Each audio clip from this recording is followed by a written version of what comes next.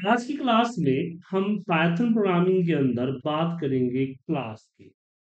हमने last time समझाया था कि ऑब्जेक्ट ओरिएंटेड प्रोग्रामिंग सिस्टम में क्या क्या चीज़ें होती है और आखिर क्लास का यूज़ किया है, हमने लास्ट टाइम आपको साथ डिस्कस किया। आज हम इक्कीसवा दिन पे हैं और इक्कीसवें दिन में हम बात करेंगे क्लास की। सिर्फ़ उसकी बेसिक कंसेप्ट को समझते हुए आगे की तरफ़ बढ़ते हैं। ओके सबसे पहले बात करते हैं कि क्लास क्रिएट कैसे किया जाता है? कैसे क्रिएट किया जाता है? और उसका यूज़ किया है? तो जैसे मैंने यहाँ पे लिखा क्लास और यहाँ पे हमने मान लीजिए कि बाइक के नाम से बना दिया। बाइक की सर्विसिंग करानी है इसलिए बाइक नाम। तो हमने बी कैपिटल का ध्यान रखिएगा अगर जो आप लिखते हैं, वो सेम होना चाहिए केस तो बाइक दिया। और बाइक का जो नेम है यहाँ पे हमने नेम दे दिया कि उसका नेम क्या होना चाहिए। तो फ़िलहाल हम इसको ब्लैंक छोड़ देते हैं। अदरवाइज़ कुछ भी दे सकते हैं।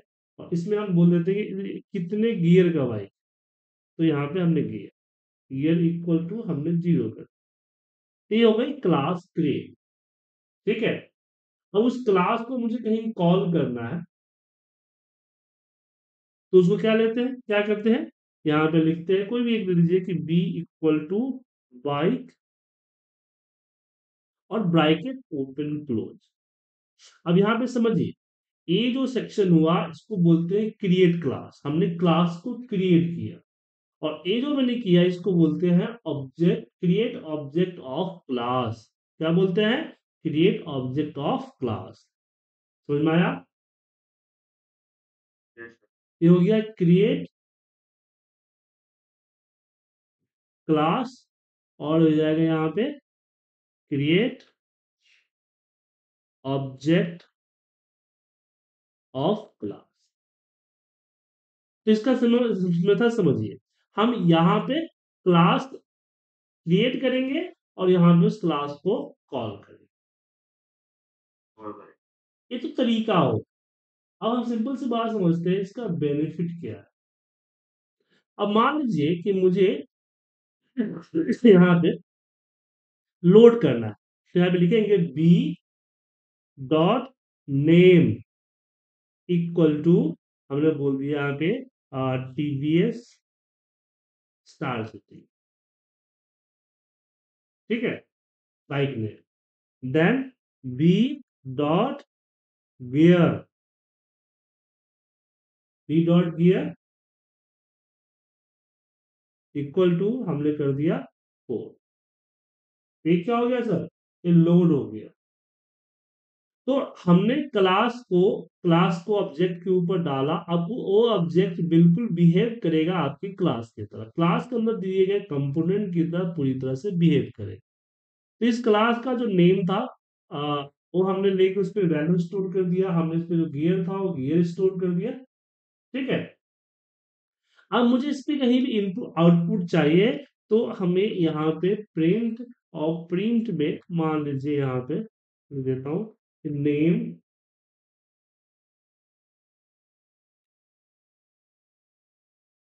और यहाँ पे देता हूँ मैं बाइक में बाइक वी डॉट नहीं ठीक है।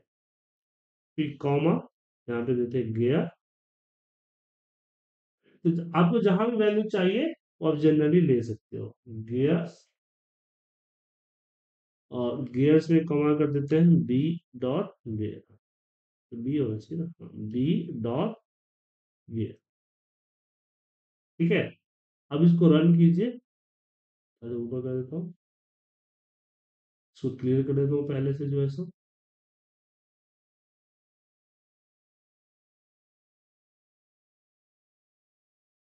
आ गया। Name star city and gear four अब यहाँ पे दो चीज़ आपने सीखा। एक तो कैसे हम उसको क्रिएट करते हैं, कैसे लोड करते हैं, कैसे वैल्यू डालते हैं और कैसे वैल्यू लेते हैं। दो चीज़ तो सीख गए चार चीज़ सीख गए इसमें अब क्वेश्चन आता है, राहुल जी, कि आखिर इसका बेनिफिट क्या है? हम क्यों इसका यूज़ करें? ये चीज़ तो नॉर्मली हम डेटा वेरिएबल से भी यूज़ कर सकते हैं ना। क्या सर? तो यहाँ इसलिए, क्योंकि अब जैसे कि हमने क्लास यहाँ पे क्लास में ज़रूरी कि हमने वेरिएबल ही डाला, यहाँ पे हम वेरिएबल के साथ साथ अपनी कैलकुलेशन वगैरह भी डालेंगे। और जैसे फ़ंक्शन को हम जगह जगह यूज़ करते हैं ना, ऐसे यहाँ भी यूज़ कर सकते हैं। साथ में हम किसी और फ़ाइल में डाल, जैसे आप इंपोर्ट करते हो ना, जो लाइब्रेरीज इंपोर्ट करते हो, वो लाइब्रेरीज होता क्या है? वो एक क्लास ही होता है। समझे?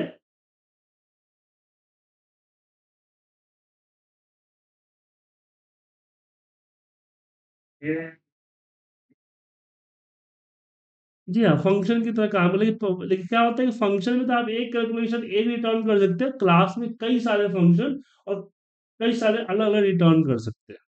अब चलिए एक और एग्जांपल इसको मैं हटा लेता हूँ। एक और एग्जांपल देते हैं।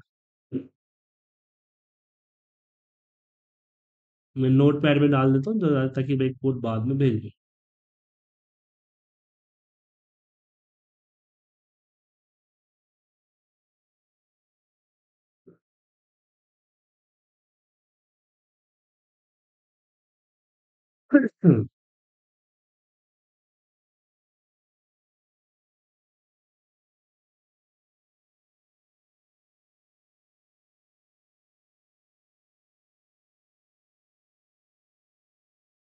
चलिए, एक और एग्जांपल हम आपको समझाते हैं। हम यहाँ पे पहले डिफाइन करते हैं क्लास क्लास और क्लास में हम डिफाइन करते हैं एएमपी एम्प्लॉय के लिए हम करते हैं एएमपी ठीक है? और यहाँ पे कुछ खास नहीं करता हूँ M P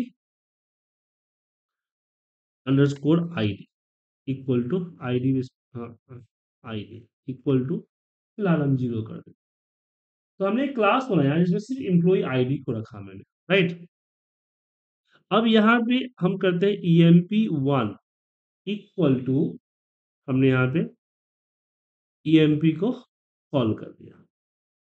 ठीक है? ऐसे ही पी टू हमने पी को कॉल कर लिया।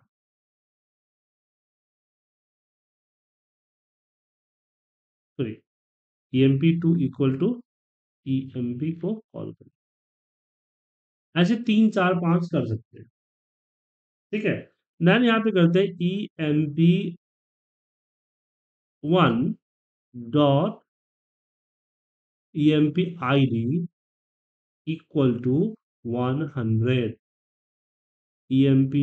two dot E M P I D equal to one zero one समझ में आया आपको?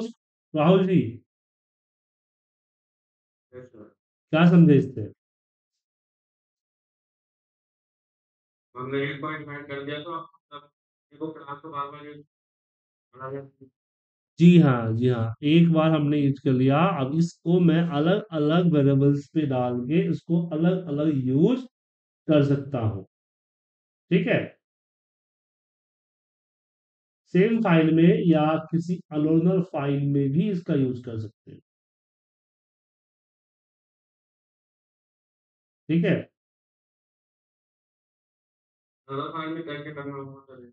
यहाँ से ऊपर इंपोर्ट करना होगा। है ना? इंपोर्ट करना होगा बताऊँगा वो भी बताऊँगा, चिंता मत कीजिए ठीक है? वो भी बताऊँगा। अब चलिए इसके इसके एलिमेंट के बारे में जानते हैं। क्लास के अंदर एलिमेंट क्या क्या होता है, उसके बारे में जानते क्लास को समझ में आ गया आपको? क्लास कैसे करते हैं, क्या है? वगैरह ठीक है? अब हम बात करते हैं कंस्ट्रक्टर के बारे में। किसके बारे में? कंस्ट्रक्टर क्या होता है कंस्ट्रक्टर चलिए इसके बारे में जानते हैं।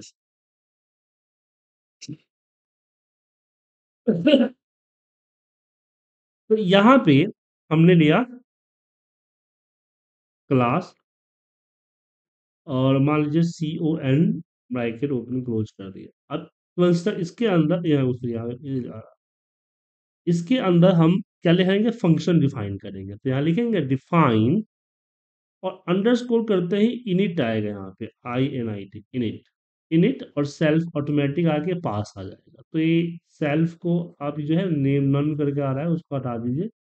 मतलब रख भी सकते हैं, मैं हटा देता हूँ थोड़ा सा और लगता है दिखने में।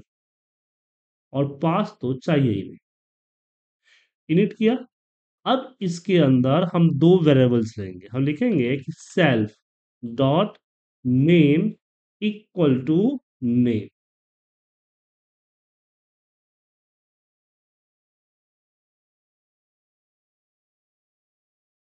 तुम्हारे पे नेम प्रूफ कर रहा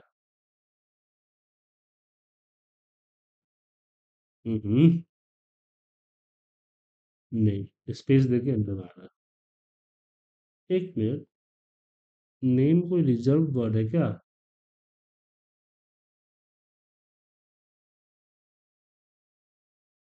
sorry self dot name equal to यहाँ पे नाम भी टाइप कर सकते हैं जैसे मैं यहाँ पे विष्णु कर दिया फिर यहाँ पे सेल्फ डॉट मैंने मार्क्स कर दिया।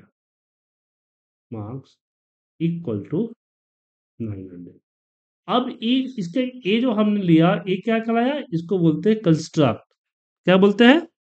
कंस्ट्रक्ट ठीक है? यहाँ पे हमने कंस्ट्रक्ट किया। अब कंस्ट्रक्ट में हम यहाँ पे जो नाम डिफाइन डायरेक्टली डाले हैं, उसके जगह पे यहाँ पे हम डायरेक्टली लिख सकते हैं। सेल्फ यहाँ पे यहाँ पे comma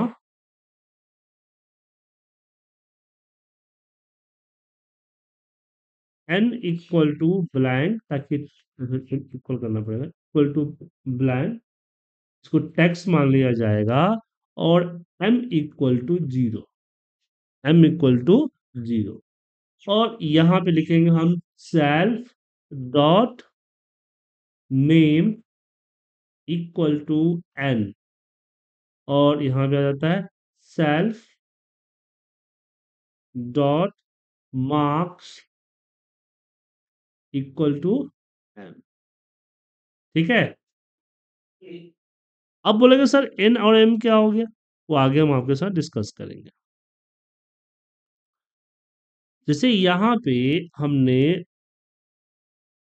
इसको एक मिनट, यहाँ पे देख। यहाँ पे अगर मान लीजिए इसको हम कॉल करते इस क्लास के अंदर, क्लास के बाद हाँ क्लास के बाद। हम लिखते एस वन इक्वल टू हमने कॉन ले लिया। कॉन और कॉन को अगर हम ब्राइकेट ओपन क्लोज कर दिए तो बाय डिफ़ॉल्ट क्या होगा? नेम जो होगा ब्लैंक होगा और मार्क्स जो होगा ज़ीरो होगा, दिख रहा है? लेकिन यहाँ पे हम इनपुट डाल भी सकते हैं। जैसे हमने यहाँ कर दिया पूजा, जैसे फ़ंक्शन होता है, और मार्क्स में हमने कर दिया फाइव हंड्रेड यहाँ पे। तो एन के ऊपर, जो एन है, इसके ऊपर पूजा लोड हो गया एम के ऊपर यहाँ पे हमारा क्या लोड हो गया? फाइव हंड्रेड लोड हो गया। हाँ। ठीक है सर तो इस तरह से हम फ़ंक्शन लगाते समय डायरेक्ट वैल्यू को इनपुट कर सकते हैं फ़ंक्शन की तरह। अब इसमें एक काम और हो सकता है, यहाँ पे देखिए, कि मैं एक और फ़ंक्शन एक और यहाँ पे फ़ंक्शन लगा देता हूँ डिस्प्ले के लिए। तो D I F D F D I S display हमने बताया था कि ज़रूरी नहीं कि हम इनपुट ले, इसमें अपना आके भी कर सकते हैं, क्या बोलते हैं अपना एलिमेंट भी डाल सकते हैं इसमें। यहाँ पे दे दिया सेल्फ हमने बोला कि दो, क्या कॉल आएगा? तो जो सेल्फ है ना, ये सेल्फ ये सेल्फ आएगा। मतलब जो है उसके अंदर वही आएगा। और इसके अंदर हमने ये जो ऊपर जो वैल्यू दिया है, वो सारे वैल्यूज़ को हम यहाँ पे, मान लीजिए कुछ और करवाना है प्रिंट करवाना है। तो हमने यहाँ पे लिखा प्रिंट प्रिंट में यहाँ लिखा हाय ठीक है? हाय माय नेम और यहाँ पे कॉमा हम दे देते हैं self dot name self name यहाँ पे आ जाए। फिर यहाँ पे अगेन प्रिंट कराते हैं कि प्रिंट प्रिंट में मैंने लिखा माय मार्क्स इज़ और कॉमा हमने यहाँ पे सेल्फ और सेल्फ को लेके मैंने यहाँ पे इसकी जो मार्क्स है, वो मार्क्स को कॉल करा दिया। ठीक है? अब यहाँ पे हमने लिखा कौन? एस वन कौन? एस वन के ऊपर कौन हमने स्टोर कर दिया? इसके अंदर इनपुट डाल दिया। ठीक है ना? अब मुझे एस वन के अंदर कौन, के अंदर जो डिस्प्ले है ना क्योंकि तो कौन, जब कौन आएगा तो पूरा आएगा ना? दोनों दोनों फ़ंक्शन आएँगे। तो यहाँ पे हम करते हैं S one dot D I S display bracket open close ठीक है? अब ऐसा करने पे क्या होगा कि पूजा एन फाइव हंड्रेड यहाँ पे प्रिंट हुआ। हुआ? तो यहाँ पे आपने दो चीज़ देखा। पहला, दो फ़ंक्शन हुआ। पहला हमने अपना जो यहाँ पे देखिए, इसको कंस्ट्रक्ट बोलते हैं, इसको इनिशलाइज बोलते हैं। इसको क्या बोलते हैं? इनिशलाइज इसको बोलते हैं कंस्ट्रक्ट इंस्टेंट माफ़ी इंस्टेंस मेथड इसमें हमने क्या किया? सबसे पहले तो दो, एक सेल्फ लिया, ताकि सेल्फ से क्या होगा? सेल्फ यहाँ पे रिज़र्व वर्ड है। सेल्फ के अंदर जो भी डालेंगे, वो बाहर उसको इजीली कॉल कर सकते हैं। ठीक है? तो हम यहाँ पे यहाँ पे डिफाइन किया क्लास नेम इसके अंदर एक फ़ंक्शन दिया, जिसमें हमने डिफ़ॉल्ट जो है कंस्ट्रक्ट मेथड लिया, जो कि इनिट होता है। इसमें सेल्फ एक रिज़र्व है। उसके बाद हमने अपने दो वेरेबल लिए, ताकि हम फ़ंक्शन को कॉल करते समय अपना वेरेबल डाल। इन दोनों वेरिएबल को मैंने एक दो नए अलग अलग सेल्फ नेम और सेल्फ मार्क्स नाम के दो अलग अलग वेरिएबल्स रिज़र्व वेरिएबल्स पे मैंने लोड कर दिया। मतलब अब एन और एम आगे नीचे सेल्फ डॉट मार्क्स और सेल्फ डॉट नेम के नाम से जाने जाएँगे। ठीक है? ये तो गई हमारे ये हो गया क्या बोलते हैं उसको? कंस्ट्रक्टर हो गया उसको कंस्ट्रक्टर बोलते हैं। नीचे आ गया आपका इंस्टेंस इंस्टेंस के अंदर हमने अपनी जो भी ऑपरेशंस थे, उस ऑपरेशंस को मैंने किए। ठीक है? जैसे डिस्प्ले था, ऐसे हम कैलकुलेशन और बाकी चीज़ें भी अलग अलग फ़ंक्शन में कर सकते हैं और अलग अलग फ़ंक्शन एक दूसरे से लिंक भी कर सकते हैं और फिर बाद में हम अलग अलग फ़ंक्शन को यहाँ पे कॉल भी कर सकते हैं, जैसे यहाँ पे देखिए, हमने किया। समझे?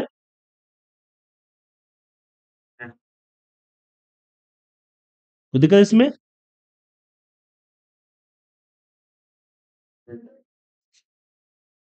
तो यहाँ पे ये होता है क्लास का ही होता है, क्योंकि आप एक फॉर्मूला बनाते हैं तो एक फॉर्मूला बनेगा। बट यहाँ पे एक क्लास के अंदर अलग अलग फॉर्मूले बनाएँगे और एक और खासियत क्या होगी इसमें? कि हम अलग अलग फॉर्मूले को भी आपस में कॉपी कर सकते हैं। क्लियर है?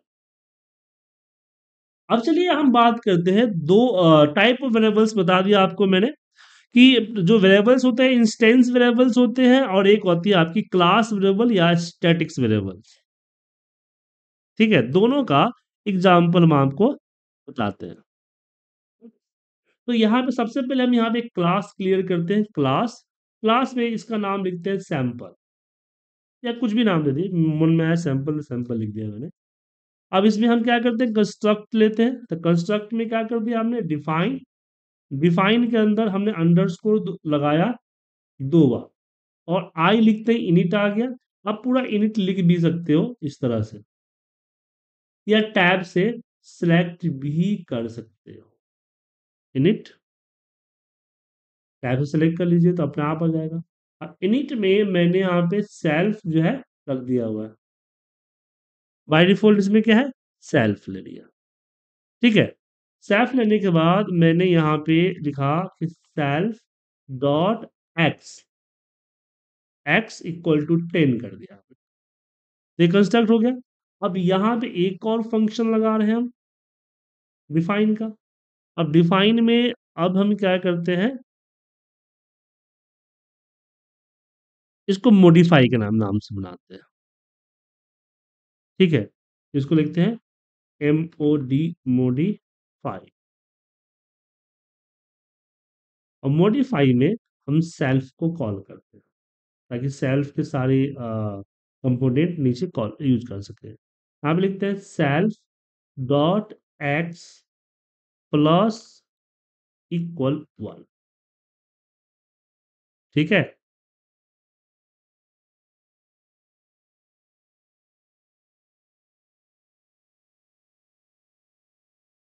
अब यहाँ पे हम ये इसको बोलते हैं ये हो गया आपका कंस्ट्रक्ट मेथड ये हो गया आपका ये हो गया इंस्टेंस मेथड ठीक है? अब यहाँ पे देखिए, हम दो वैल्यू लेते हैं। एस वन इक्वल टू हम सैंपल लेते हैं। सैंपल ब्रैकेट ओपन क्लोज और फिर S two again equal to यहाँ पे सैंपल ब्रैकेट ओपन क्लोज ठीक है? अब इसको प्रिंट करते हैं। प्रिंट यहाँ पे लिखते हैं X X in S one equal और कॉमा यहाँ पे एस वन क्योंकि यहाँ एस वन डॉट एक्स को ले लेते हैं। अगेन प्रिंट प्रिंट में पे लिखते हैं? X in S two equal और फिर यहाँ पे हम करते हैं प्रिंट प्रिंट इसके अंदर प्रिंट नहीं माफ़ कीजिएगा प्रिंट तो नहीं चुका हो ना? S two S two dot X ठीक है? अब इसमें हम करते हैं again S one equal to modifier नहीं नहीं माफ़ कीजिए एस वन डॉट मोडिफाई अब मोडिफाई वाला कम हमने क्या किया? फ़ंक्शन को कॉल कर लिया अब देखिए क्या होगा। अब मैं इसको प्रिंट करता हूँ कि print X X in S one equal यहाँ पे हम करते हैं S one dot X comma करना भूल गया था हाँ। इसको डिलीट कीजिए, पूरा स्क्रीन दिखेगा। और फिर अगेन हम प्रिंट लेते हैं। प्रिंट यहाँ पे एक्स इन एस टू अब आपको ये समझ में आ जाएगा ये दोनों के बीच में क्या डिफरेंस है। एस टू डॉट रन करता हूँ। यहाँ देखिए एस वन क्या था? टेन था। टेन है? और यहाँ पे टेन था। ये टेन टेन कब आया? जब तक हमने अपना मॉडिफाई वाला नहीं चलाया। ठीक है? जैसे मॉडिफाई चलाया, क्योंकि मॉडिफाई तो हम सिर्फ़ एस वन पे चलाए थे तो ये मॉडिफाई वाला जो है ऑटोमेटिक चल गया, जिस कारण से रिज़ल्ट जो है, आप देखिए S one equal to eleven आया। क्योंकि मॉडिफाई में मैंने बोला हुआ है एक्स प्लस वन तो ये क्या हुआ कि आप जैसे अपना कॉल कर लेने से, यहाँ पे क्या समझ में आया है कि आप अगर अपना क्लास जस्ट कॉल कर ली, इसका मतलब नहीं कि क्लास के अंदर जितने भी फ़ंक्शंस है, वो वर्क कर गए जी नहीं। फ़ंक्शन सारे लोड हो गए बट फ़ंक्शन ट्रिगर नहीं होगा। ट्रिगर कब होगा? जब आप उस फ़ंक्शन को रन करेंगे, जैसे मैंने यहाँ पे एस वन डॉट मोडिफाई को रन किया, तब जाके इसने एक्स एक्स पे एक्स की वैल्यू टेन पे उसने प्लस वन किया। पहली चीज़ समझा? दूसरी चीज़, जो वैल्यू लोड हो गई है, वो आपका लोड हो जाएगी।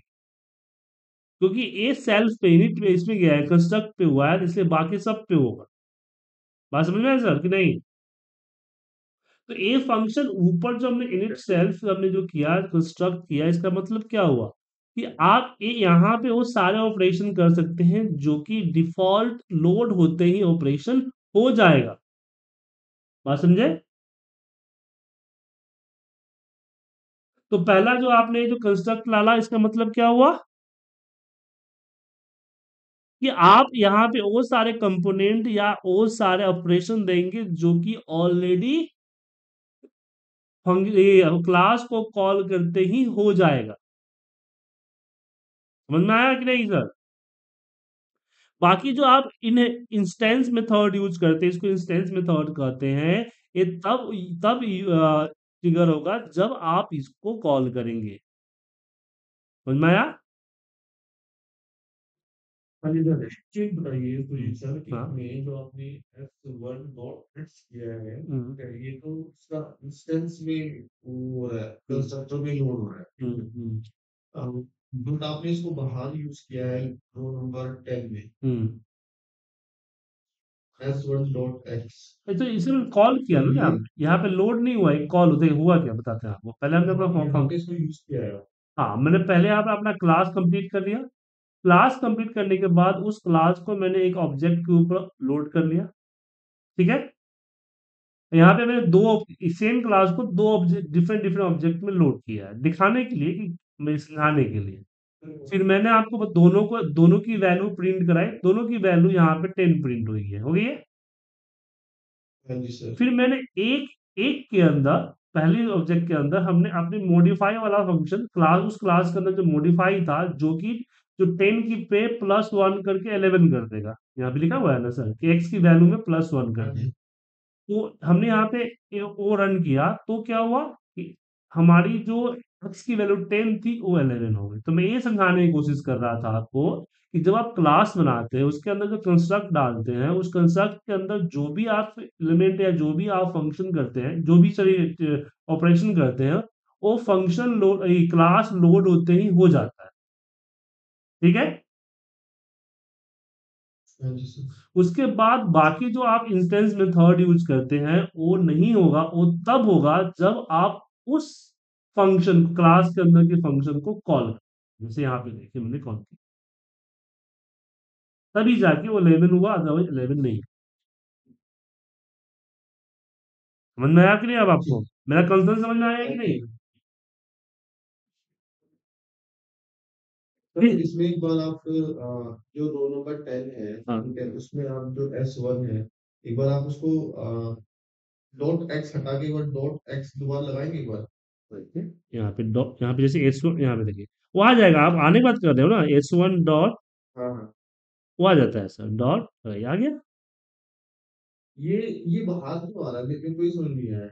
ये? तो हमने वहाँ पर इंस्टेंशिएट किया हाँ तो एस वन के अंदर नहीं समझे यहाँ पे एस ए आपका एस वन किस पे स्टोर लोड हो गया? सैंपल पे सैंपल पे है? सैंपल लोड हो गया एस वन पे? अब एस वन बन गया सैंपल अब सैंपल के अंदर ये आपको सेल्फ डॉट एक्स है। सेल्फ क्या है? सैंपल का पार्ट है ना सर हम्म, तो यहाँ पे आएगा ही आएगा सर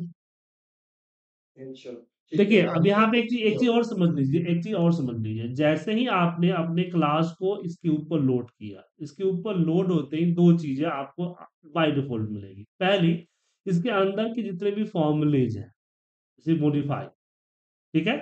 डॉट लगाते ही मॉडिफाई का मॉडिफाई यहाँ पे शो हो जाएगा। दूसरा इसके अंदर दी गई सारे के सारे ऑब्जेक्ट वेरिएबल्स वो भी आपको आएँगे। तो आप वेरिएबल्स को भी कॉल कर सकते हो फ़ंक्शन को भी कॉल कर सकते हो। ठीक है? समझे कि नहीं सर हाँ हाँ तो दिक्कत इसमें? नहीं सर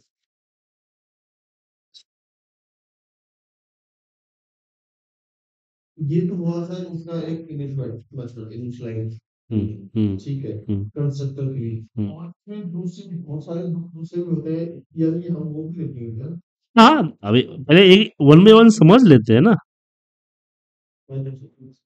वन बाय वन समझ ले उसके बाद बात करेंगे ना। जैसे कि नेम स्पेस के बारे में जान के चलिए ठीक है? इसको भी एक बार समझ लीजिए। थोड़ा सा कंफ्यूजन लग रहा है आपको? देखिए हमने यहाँ पे क्लास बनाया। क्लास के अंदर मान लीजिए मैंने एस टी नाम का बनाया क्लास ठीक है? अब इसके अंदर एन इक्वल टू हमने टेन कर दिया समझे? अब मैं ए आ गए ए जो हमने यहाँ पे जो अप- अपना क्लास बनाया, इसमें क्या हुआ कि इसमें एन जो है वो क्या हो गया? एक क्लास वेरिएबल हो गया। एन को क्या बोलते हैं? क्लास वेरिएबल ठीक है? अब मान लीजिए कि मैं प्रिंट के पहले मैं यहाँ पे कॉल करता हूँ स्टूडेंट को। तो मान लीजिए हम यहाँ, अब ज़रूरी नहीं कि मैं स्टूडेंट को किसी वैल्यू पे डाले, हम डायरेक्ट भी यूज़ कर सकते हैं। जैसे प्रिंट के अंदर हमने S T R S T dot directly हम एन को ले लेंगे। ठीक है? या फिर प्रिंट यहाँ पे हम कर देंगे S T dot N plus equal one ठीक है सर? बट यहाँ पे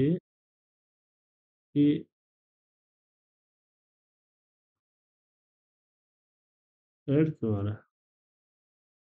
तो ब्राइटनेस में रखना होगा क्या?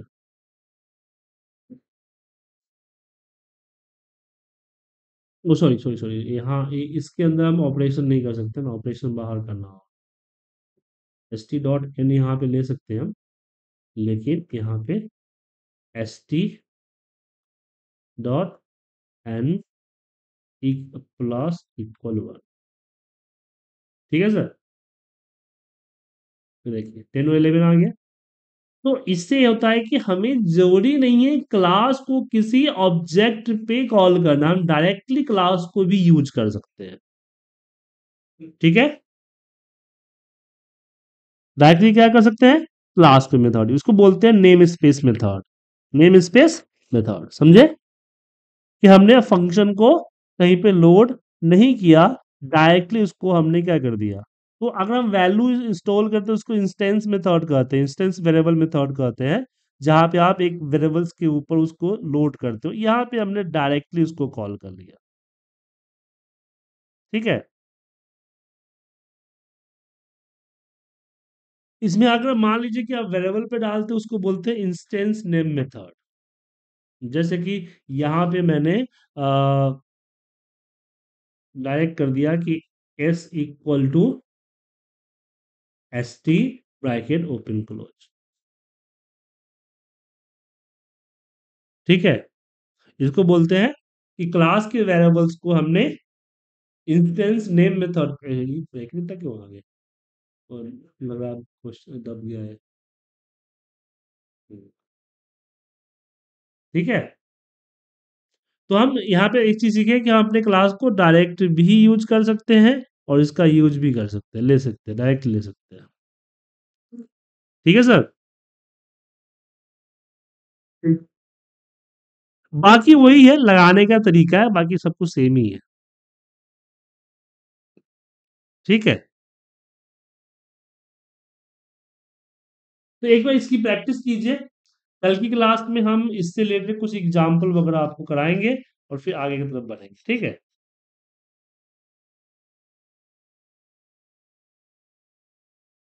तो क्लास समझ में आ गया? क्लास की मतलब फंडामेंटल समझ में आ गई ना? कोई दिक्कत तो नहीं है इसमें ना? कैसे डिफाइन करेंगे? कब डिफाइन करेंगे? क्या क्या चीज़ें उसमें हैं और क्या बेनिफिट्स हैं? सारे समझ में आ गए? यस तो दिक, दिक्कत इसमें? देखिए जब तक बेसिक कंसेप्ट नहीं समझिएगा तब तक मुश्किल हो जाएगा। तो बेसिक कंसेप्ट हम समझ चुके हैं। अब आगे